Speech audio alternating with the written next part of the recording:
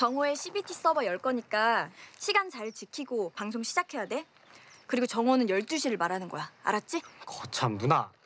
날 뭘로 보고 아이, 미안, 미안. 언니 걱정 마시고 얼른 들어가세요. 아, 올 때 대표님하고 같이 왔지.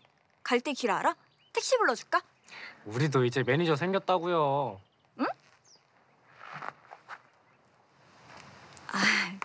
그래, 조심해서 가고 시간 잘 지키고 방송 착해. 백만 대군 물러올 테니까 걱정 마요. 화이팅. 화이팅. 갈게요.